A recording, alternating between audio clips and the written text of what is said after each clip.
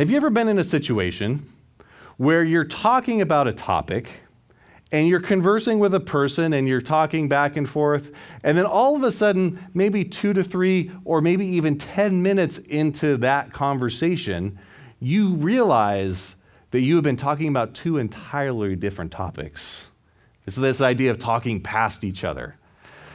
In a, in a evangelistic setting where you're talking with a person about Jesus, I have experienced this over and over and over and over, where you're talking to a person about God and you think you're talking about the same thing, but in reality, you're not. And what we're going to talk about today is how do we effectively share the gospel, the good news of Jesus Christ? How do we do that and not talk past the person that we're sharing with? How do we build a gospel bridge, if you will? How do we do that in a way that not only is clear to the hearer, but we're also truthful to Scripture at the same time and led of the Spirit? Well, Paul does something really cool in that in Acts 17 and 18. So let's dive in into Acts chapter 17 as he begins his second missionary journey. Now, again, Paul's second missionary journey, he's going all over the place. He's going to go through Thessalonica. He's going to make his way all the way to Greece. And you probably guys have a map uh, behind me. You have going all the way to Athens, and then you land in Corinth, and then he goes all the way back to Caesarea. Like Paul travels a lot of miles by foot and on boat with his second missionary journey. And we're not even going to cover all of the second missionary journey because it's just too much. Like it bleeds over into Acts 19. And here, where Paul starts, remember, he was at Jerusalem at the council there. He goes back up to Antioch. And from Antioch, he launches out into his second journey, his second adventure, if you will, and then heads on to Thessalonica. So pick it up with me in verse 1 of chapter 17. Now, when they had passed through Amphipolis and Apollonia, they came to Thessalonica, where there was a synagogue of the Jews. Now, Thessalonica was the chief port of Macedonia. Verse 2 And Paul went in, as was his custom, and three Sabbath days he reasoned with them from the Scriptures, explaining and proving that it was necessary for the Christ to suffer and to rise from the dead, saying, This Jesus whom I proclaim to you is the Christ. Now, this is Paul's typical MO. He would visit a new place, he would find a synagogue where a bunch of Jews would gather for, for Sabbath worship, and he would go in there and he would tell them about Jesus. In verses 4 through 9, here's what happens a lot of Jews believe, and not just Jews, a lot of devout Greeks believe, and a lot of influential ladies believe. There were people in that time where there were a lot of uh, well to do in society. And in this particular case, a lot of the ladies in well to do society, they had extra time on their hands because they were wealthy. And what they would do is that they would focus on the political, on the arts, on the social, on the religious aspects of culture. And those gals end up getting saved in Thessalonica, which is pretty awesome because you have that, that influence. They now believe in Jesus. Before they might have been promoting Greek mythology, now they believe in Christ and they're promoting Jesus. But the Jews are incredibly jealous of Paul's success as a missionary. And you're going to see this theme over and over and over again, where the Jews are incredibly jealous of what God is doing. And we've talked about this before, and I'll be perfectly honest. We, we've talked this application point about jealousy and what God is doing with other people, and that we need to be careful of that. And, and full disclosure, full transparency, I, when I do a sermon prep, I, I was like, hey, Lord, is, is there anything in here that I need to fix? Is there anything in my life that I need to get right? And we did the jealousy thing twice, but then it was the third time where I was like, oh, there is something there right? You guys ever been there where like, I'm fine, I'm fine, and all of a sudden, I'm not fine, right? That's okay. Like God in his spirit and in his timing reveals those things to you. And so I had to repent of some things like as as this jealousy thing came, comes up again. Because remember, ministry is about God. It's not about me or, or us. It's about the Lord. And what we want to do is that we want to say, you know what, God, if you're using somebody, then praise God. God, if you're using somebody in amazing ways, then I am excited for them. And a really good test, like what we said before, a really good test is can you pray for that person and not grit your teeth? Can you pray for that person that you're jealous of and not be upset? It's a really good check. And the, the key thing to that, Christian, especially for those of you called into ministry or leadership or servanthood of any kind, the key to that is recognizing who you really are and that ministry and being used by God is by grace for everybody, anyways.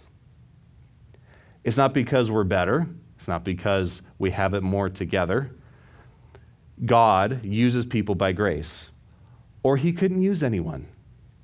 God uses people because He loves us and because of His grace. Now, the jealousy of the Jews get really violent here.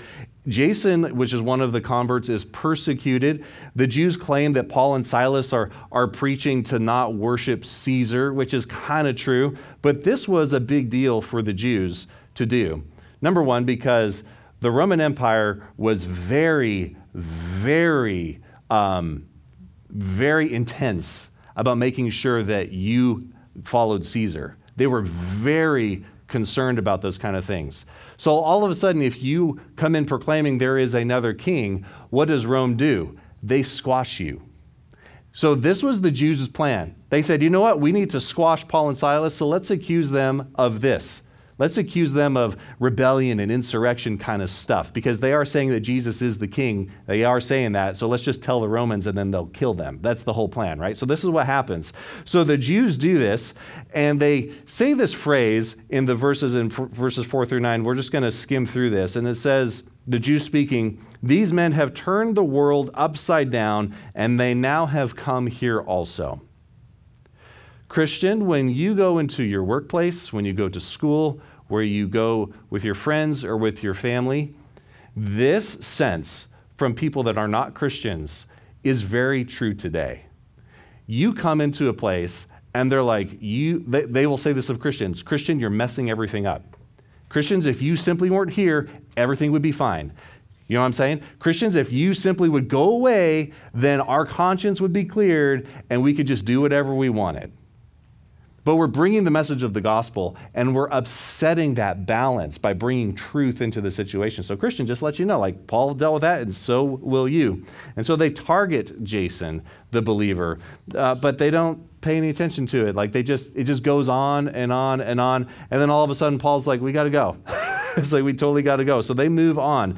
Paul would later write 1st and 2nd Thessalonians to this church that starts, even though it's a rocky start they get established as a church. Super exciting. So, verse 10 of chapter 17. Now, the brothers immediately sent Paul and Silas away by night to Berea. And when they arrived, they went into the Jewish synagogue. And now these Jews were more noble than those in Thessalonica. They received the word with all eagerness, examining the scriptures daily to see if these things were so. Now, noble is, is translated, they were being honest. They are more willing to be honest and examine where does the truth actually lead us? We're going to follow the truth wherever it happens to go. And what they did is that they searched the Old Testament scriptures because the New Testament wasn't written quite yet. They searched the Old Testament scriptures daily to see if what Paul was saying was really true. And the obvious application here is Christians, do you have that same tenacity to search the scriptures. These guys looked daily to see if what was being told them what was being told to them about Jesus was true.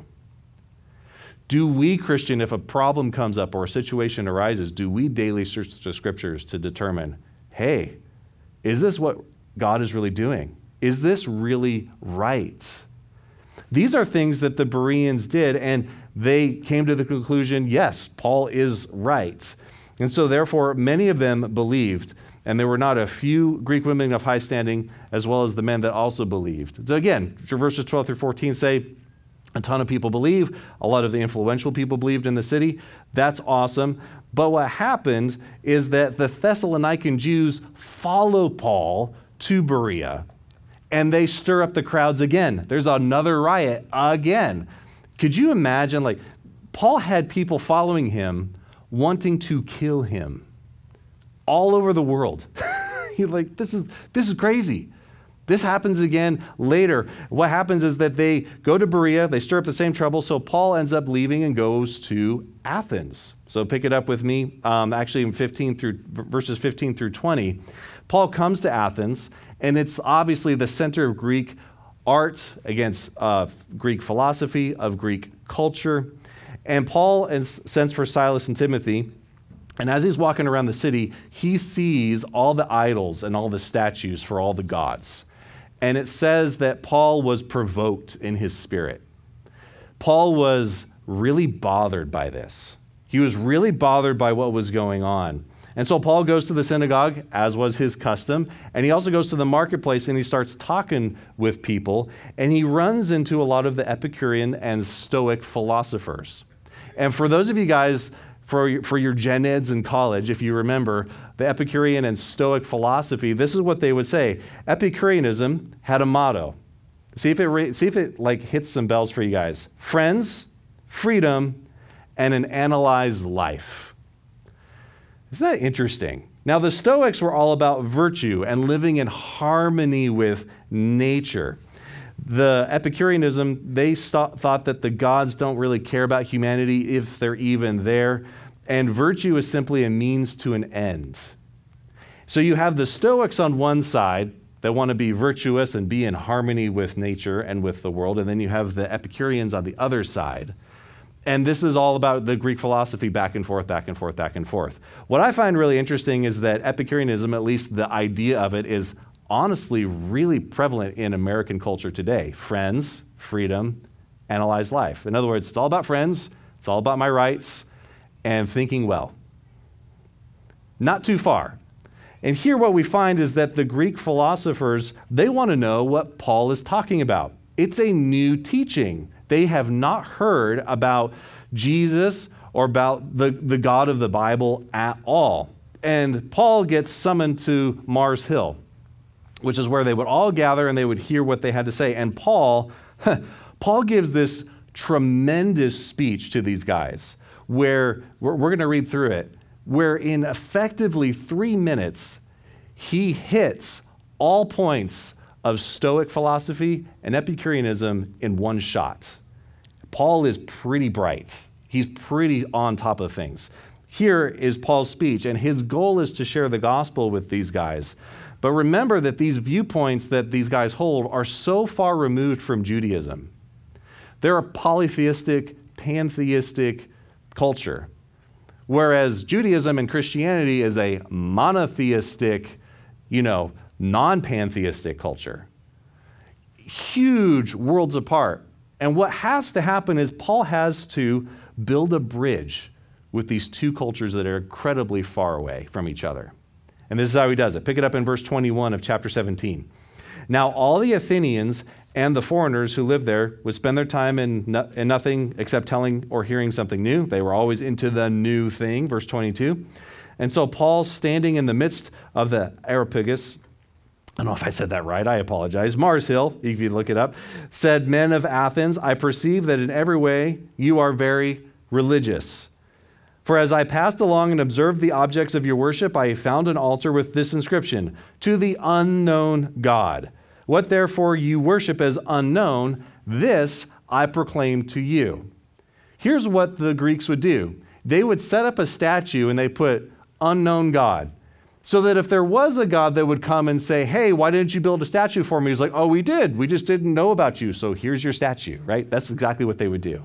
What Paul is saying is, Hey, that unknown God that you don't know about, I'm going to tell you about him. So there's bridge number one. He connects that culture with, hey, I'm going to tell you about the God that I know, the God of the Bible. Verse 24, and the God who made the world and everything in it, being Lord of heaven and earth, does not live in temples made by man, nor is he served by human hands as though he needed anything, since he himself gives to all mankind life and breath and everything. This God, this unknown God that you guys don't know about, created everything. He doesn't need a statue, he doesn't need a temple because everything is his to begin with. You don't need to do these kinds of things. And God created nature. God is not nature. In other words, that pantheism idea. God is not the rock. God made the rocks. God is not the universe. God made the universe. And that shifts from a impersonal, pantheistic, nature-driven God to a personal, all-powerful God. Completely different mindset for them. Verse 26 And he made from one man every nation of mankind to live on the face of the earth, having determined allotted periods and the boundaries of their dwelling place, which is Adam, as in Adam and Eve. Everybody came from Adam and Eve. Verse 27 That they should seek God and perhaps feel their way toward him and find him. Yet he is not actually far from each one of us. To seek God, to seek a personal God, would be very different for them. God is a personal being, not a force. God is not far away because the gods were viewed as far away, off on Mount Olympus or wherever they would be. God is close. You see what he's doing here? Like he's taking these ideas and he's bringing them with biblical Christianity. And so Paul then quotes two of their actual own Greek uh, poets and philosophers. Verse 28 For in him we live and move and have our being, as even some of your own poets have said, for we are indeed his offspring. Two quotes there. Verse 29 Being then God's offspring, we ought not to think that the divine being is like gold or silver or stone, an image formed by the art and imagination of man. God is not his creation, God is over creation. I love how it says that we are his offspring, that we are all God's creation. But you know where Paul is going with this? God just doesn't want them to know that they're all part of God's creation. Paul wants them to know you can be part of God's family. That's where it's going to start to head, which is super cool how he's tying this together. Again, I look at this and just how masterful it's written and how masterful Paul's speech is. It's incredible. I wish I could speak like that. Verse 30. So this is what happens. But then, being God's offspring, we ought not to think, oh, we read that, verse 30, the times of ignorance God overlooked. But now he commands all people everywhere to repent. Now, this is really important. If you've ever got a question, from a person that says, hey, so Jesus came and died on the cross. What about all the people before that didn't believe in Jesus because Jesus wasn't even born yet and Jesus didn't die on the cross yet? Well, your answer is right here. Times of ignorance, God, in his justice and mercy, overlooked. It's like, whoa, that's wild. So here's what happens is that the people before Jesus, God, God looks at that injustice and mercy and says, I got it. I will take care of it because God is a God of justice and mercy, but he commands now that everyone turn away from sin and repent. In other words, you turn from the old ways and you turn to God. Verse 31 Because God has fixed a day on which he will judge the world in righteousness by a man, which we'll find out is Jesus, whom he has appointed. And of this he has given assurance to all by raising him from the dead. God will judge the world rightly and correctly. And that is not a popular thing, even in our culture. For their culture, that was completely new. The idea that one God, not, not a bunch of gods, but one God would have enough authority and enough power to just to judge everybody, to judge everything, and to do it correctly, not just try, but to actually do it. And this really comes down to something that is deep in our hearts that we don't I, I think in, in our culture, we don't necessarily say it this way or we phrase it this way. But all of us, to a degree, want justice, especially if we've been wronged. And I think what's happened is that we've, we've taken this idea that God is a judge and we've turned him out to be a mean person or a mean God. When in reality, God is looking at hurt and at pain and the consequences of sin. And God is saying, I will make it right. I will fix this on the appointed day because I have the authority to do so. And if you've ever been in a, in a criminal case situation or you've ever been wronged by somebody or maybe you've been in a civil suit and there's that frustrating middle piece where you feel like justice is not being served. You feel like justice is not being done. God here is saying, one day I will bring justice, it will be made right. That to me is super encouraging because there's so many people that I know that they cry out for justice. And sometimes they get it and sometimes they don't. But we can trust in the God that will deliver true, pure, loving justice because he's good. We, we cry out for justice and God will answer us. But God is also a God of grace and a God of mercy all at the same time.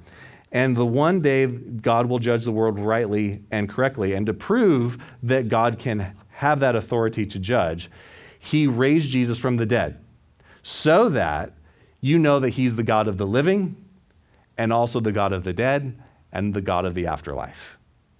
His control does not simply pertain to physical here, it's also in the supernatural world around us. And so, verse 32 the resurrection is a big sticking point for Greeks because they don't buy it at all.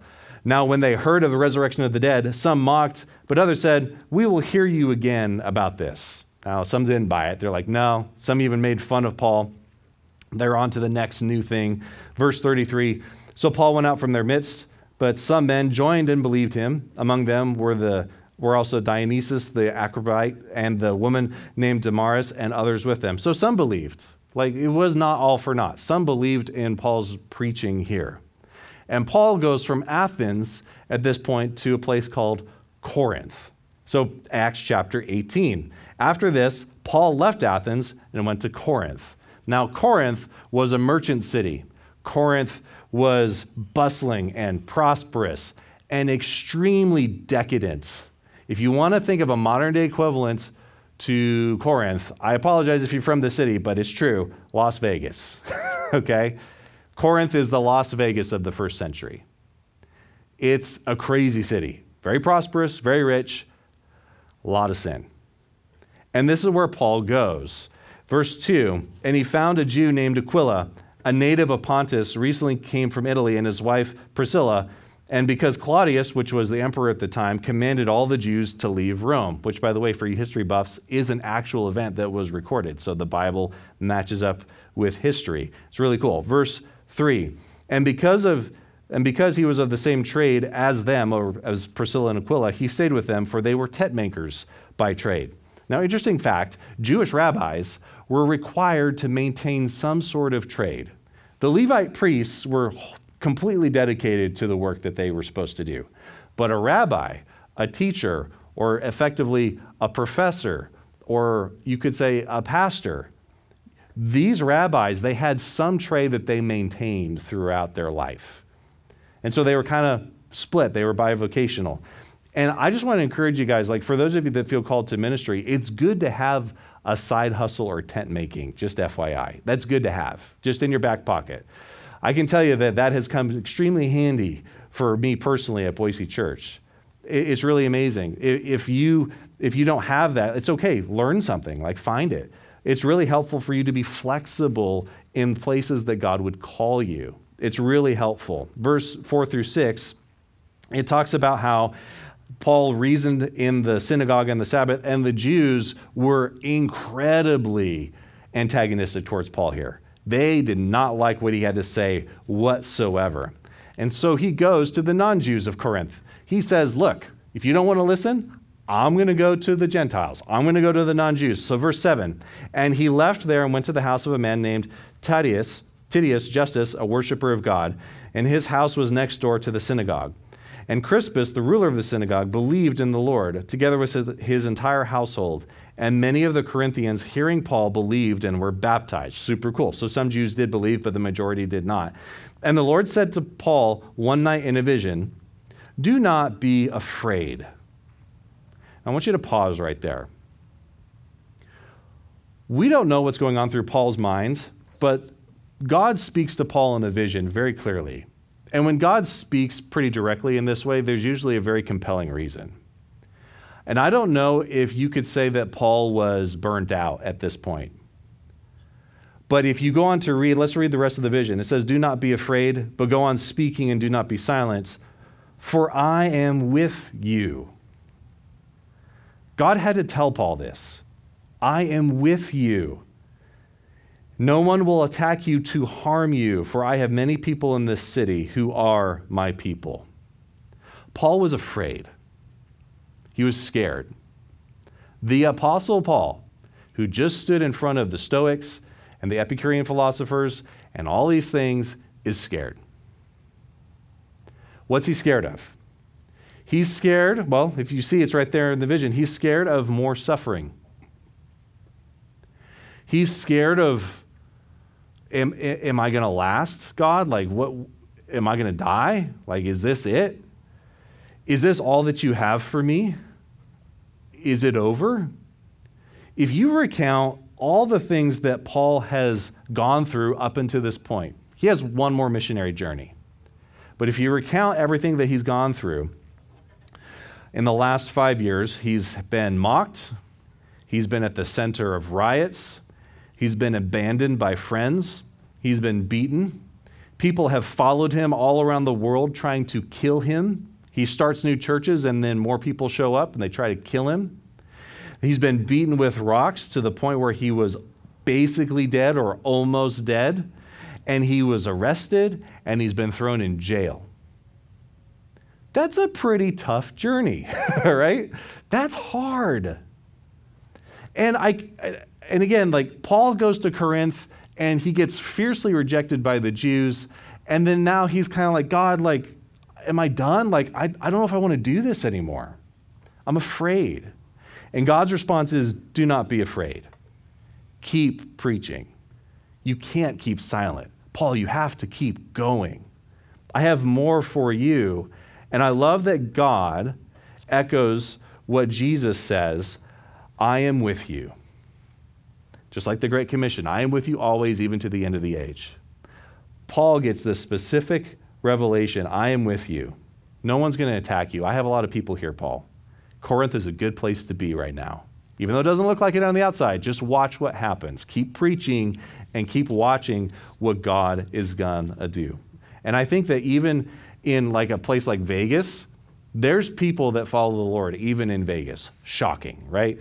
See, God wants us to move forward with him even if we're afraid. I don't know what fear or what things you have in your life that you're anxious about or you're afraid of. But these promises are applicable to us today. Do not be afraid, and God is with you. Always. Even if it doesn't feel like it, God is with you. Always. even if things feel like they're falling apart, and they may be well falling apart, God is with you. Always.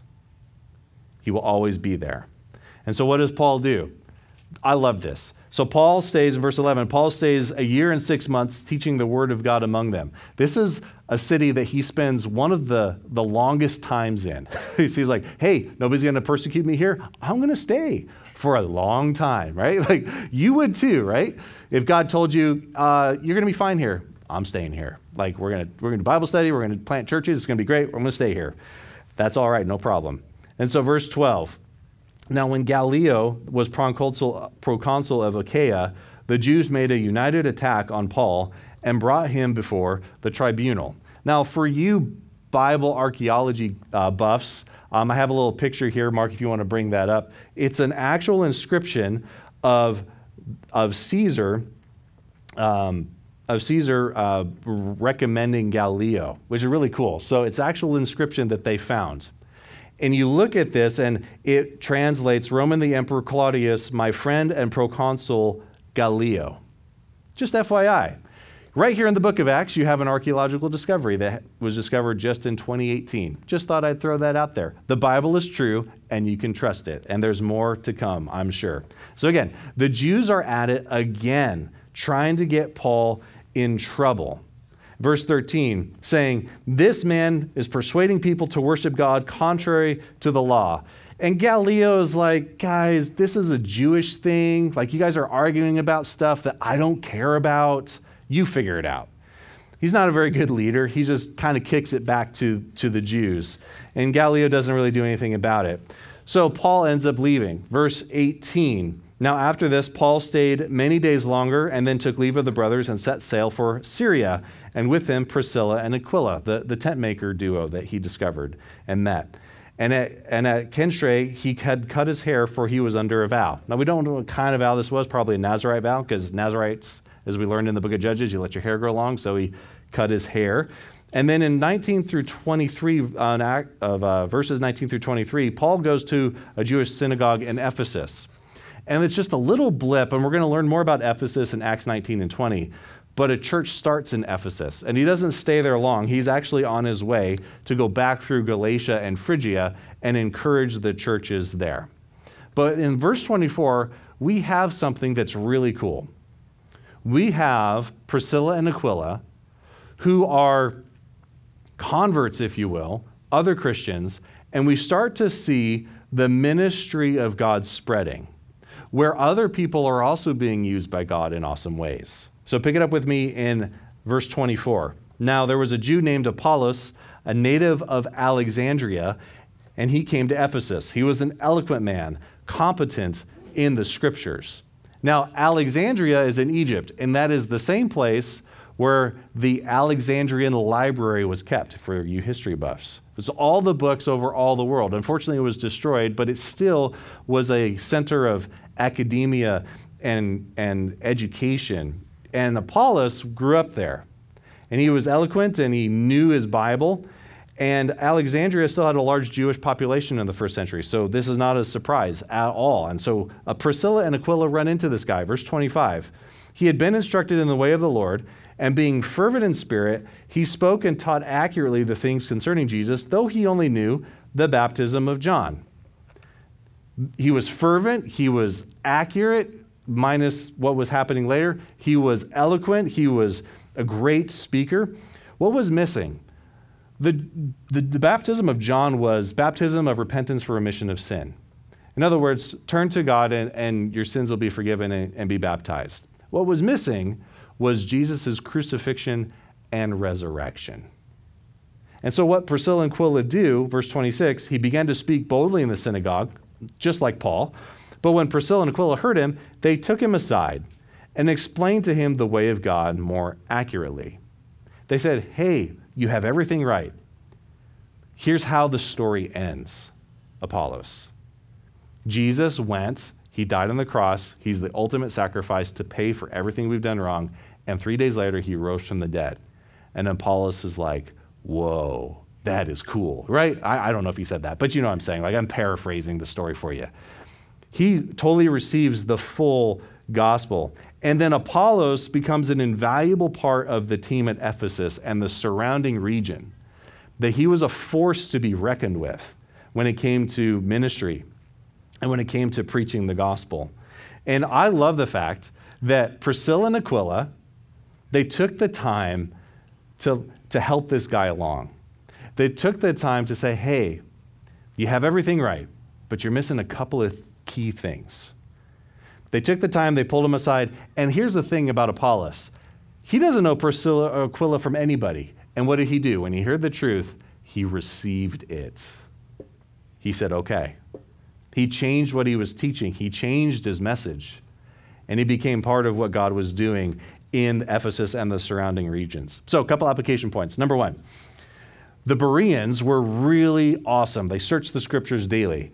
And whenever somebody says anything about the Bible or about spiritual things, or even if I say something about the Bible or spiritual things, you need to ask yourself the question is that really in the Bible?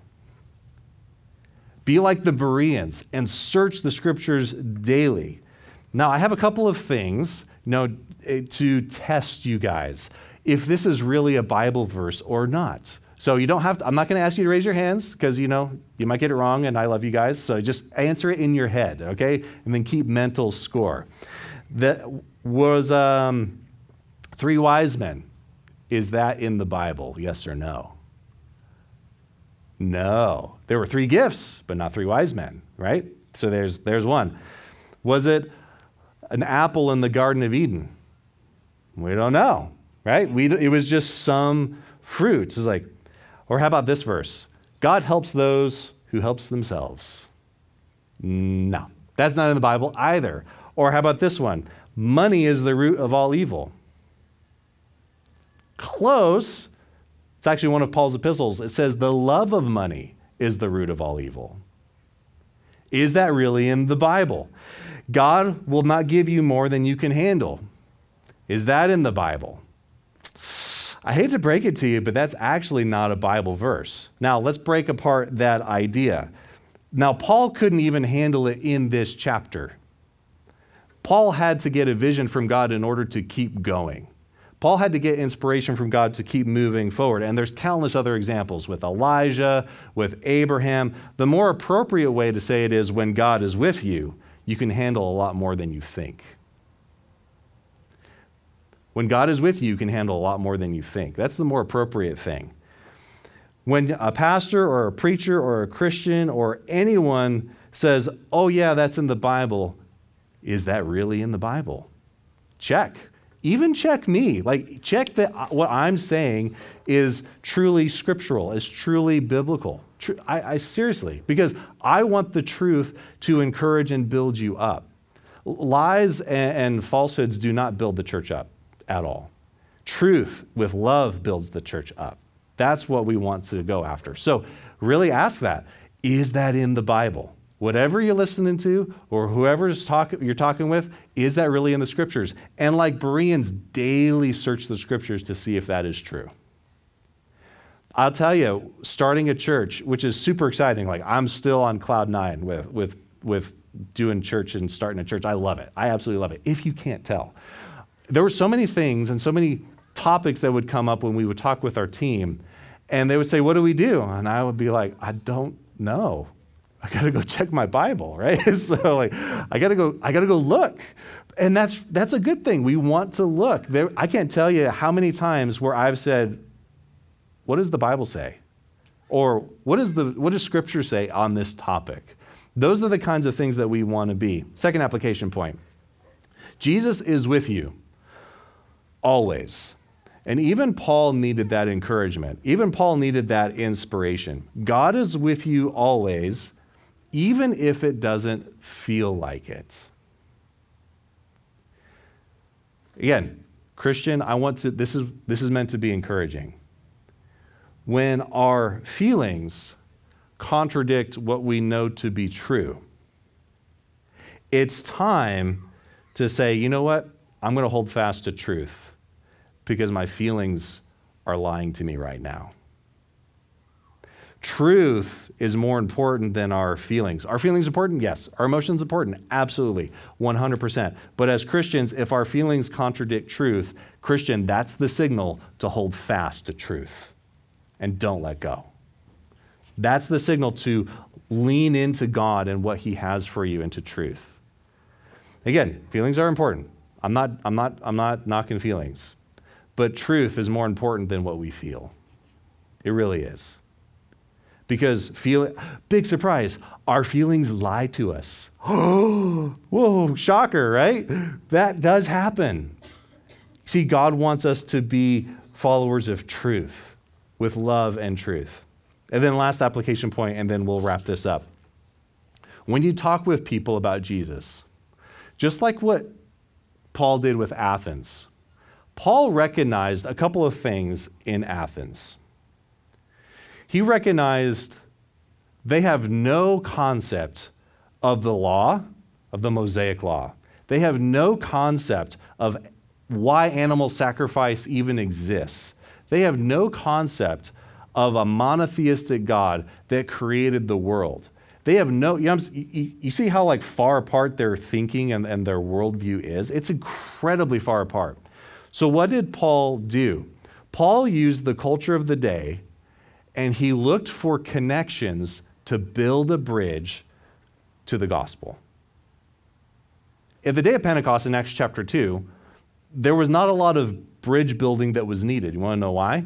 Because at the day of Pentecost in Jerusalem, it was a bunch of Jews from all over the world. They understood the animal sacrifice system. They understood sin. They understood the holiness of God. They understood that it was God that created everything. They understood that God could forgive sin. They understood that there was a coming Messiah that was going to make everything right and be the hero of humanity. They understood all of that. What Peter did in the power of the Spirit is here he is. His name is Jesus. That's the hero. And they believed. Here in Greece, They have none of that context. They have none of those things. And so, what do they do? You build a bridge. You start with the ideas and culture that they're familiar with, and you build a gospel bridge. This passage was really instrumental in changing, well, a lot of things in my life personally. I was a youth pastor for many years in Tucson, Arizona. And one of the things that, that we would do, it was our first year doing it back in 2017. We would do school outreaches. We would, uh, the Bible Club would put together a lunch and they would feed the whole school, and, and churches would sponsor that. And hey, when you have 300 Chick fil A sandwiches in your car, it smells the best thing ever, right? It's so good, right? So we would feed the whole school. And these students would share their testimonies in front of 200 students in the band room. No lights, no fog, no haze, no pad music, no nothing. Just pure, unadulterated, this is what Jesus did in my life in front of their 200 peers. And on Friday, they asked me to share why does a good God allow suffering in this world and you have nine minutes? And I thought, challenge accepted, right? I was like, okay, Lord, like this is what we're going to do. Like this is what we're going to do. I really didn't know what to say because I was struggling with this idea that I'm talking I'm not talking to a bunch of church kids. I'm talking to a bunch of people that have no concept, no context. They're postmodern Christian type people. They don't, they're not even close. You know, they get offended that you say the word sin, right? You're in that environment. So I'm thinking, Lord, how in the world do I do this? And I listened to a teaching on Acts 17 and 18, and it was on this topic, and it completely changed my life. And it was because, in terms of how I relate to people and how I share the gospel with people. And this is something that God wants you to do as well to recognize who you're sharing with and how you can build a gospel bridge. So I'll give you an example back to that Bible Club outreach in 2017. I thought, okay, Lord, how do I build this, this cultural bridge? What are students and teenagers like? What are they all about right now that I could connect with at a gospel level? And I thought, oh, feelings. That's easy, right? it's like, let's go with that. And what I, as God like worked out the, the, the sermon prep, it was totally God, guys. And again, the power is not in the eloquence of words, the power is in the Spirit and what He's doing to change hearts. What I was simply doing was there's no misunderstanding as who Jesus is and how they can understand that. The decision point is very clear for them and with the feelings and with the emotions that students are feeling, a lot of them feel wronged and they want justice, or they feel like sin is not a big deal. And what I would say is like, hey, pain, when you feel pain, it's an indicator that there is something wrong. You feel pain in your knee, there might be something wrong. You feel pain, you know, in your arm because you just injured it in a game, there's something wrong. You injured it. And you have to ask the question why is this world full of pain? It's because there is something wrong. Because sin hurts. Sin really does hurt people. It, you know, and then obviously it offends God and all those things. But as I'm sharing with these students, like you could hurt a pin drop because they never thought of sin in that way. They thought of sin as something that the big guy upstairs wants to ruin all their fun. They thought the big guy upstairs was ruining all their plans for the weekend. It's like, no, sin hurts. And if this world is full of pain and this world is full of suffering, and if God created this world, then you know what? Maybe if God is the creator of this universe, and God is the creator of this world, and I want justice for my pain, and I want justice for all the wrong things done to me, and I want justice for all the wrong things done for other people. If God created this world and He made this mess, then maybe God should pay. And you see the bridge starting to form. He did pay. His son Jesus on the cross paid for all the sins of all the pain and all the hurt for the entire world, even though he did nothing wrong. And even though it was not his fault, we chose sin. We chose to hurt people. But God freely offers you the gift of eternal life. That's why Jesus came. That's the whole point. And Jesus wants to come into your life, into your heart. You see how that bridge like was built? And I'll tell you, like, so cool, like, totally what God did. There were 12 students that got up in front of the crowd of 200, 12 students, not church kids, that got up and stood and came forward and gave their life to Christ on the spot. And that was a spiritual shockwave through that high school. There was like, what just happened? I was like, oh, God is moving. That's what happens. And it was like, right? And I'm still blown. I still like, my mind is blown by those things where God can do that even today. God can do those kind of things even with your coworkers and with the people at school. Do not underestimate the simplicity of the gospel when it reaches people's hearts because God is moving in ways that you never could even dream of. How do you build those bridges? Really pray about that this week. How do I build the bridge with that friend? How do I build the bridge with my atheist coworker? How do I build the bridge with my Mormon boss? How do I build the bridge with a former Christian that doesn't go to church anymore because they have been burned by church? How do I, how do I build that bridge? See, God will give you the wisdom. God will give you the, the right words to say. Really pray and say, God, like, how do I build this bridge for the gospel? There's so many people, they don't even know what sin is. They don't even know God. They don't know that He loves them. They don't know that He died for them, that He went to that length to, to pay for all of the wrong that they've done. They're not even there. So, as Christians in this world, what do we do? We build a bridge for the gospel. And the Holy Spirit changes the hearts in ways that we can never do. We want to be able to build a bridge so that the person has a clear choice. Do you want Jesus to forgive you and follow him or not? Do you want Jesus to, to be Lord of your life or not? See, we want to build that bridge of the gospel and bring it to a decision point. And again, that may take a couple of days, that may take a couple of months, and I know some of you don't want to hear this, but that might take a few years. But continue to build that bridge and, and build those relationships and see what God can do when you see and listen to where they're at and start to make those connections with the gospel today. Amen? Let's all stand and let's take communion together.